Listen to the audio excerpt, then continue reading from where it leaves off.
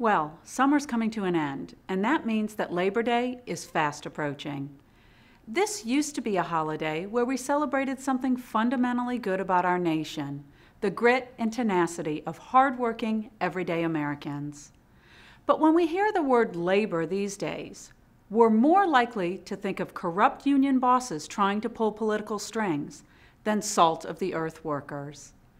Ever since Barack Obama was swept into the White House on a wave of union support, his administration has relentlessly pursued sweetheart deals for big labor.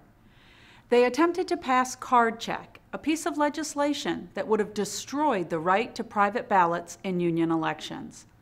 They've conspired to make it illegal for private companies to move operations to right to work states. And now they're attempting to limit the time it takes to call a union election so that employers have a harder time making their case to workers.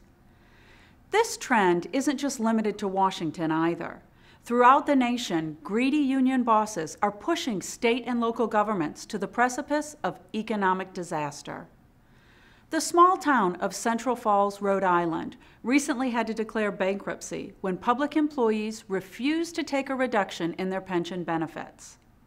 In California, teachers are calling on taxpayers to bail out their pension fund to the tune of $56 billion. And of course, we all remember the protests in Wisconsin over public employees contributing a little bit more to their retirement funds at a time when the state was out of money. Workers, the backbone of our economy and a bulwark of our culture, should be honored. They're our friends and family. We don't begrudge them a fair wage for their labor or the right to retire in security, but we do resent the union hacks who use them as political pawns. In the long run, workers always end up losing in these union quests for more power and more money. Just think of how many workers in the Detroit auto industry lost their jobs because of unreasonable union demands. Or how many will lose them when states like Illinois and New York finally have to face the fact that their finances are unsustainable. We think these folks deserve better.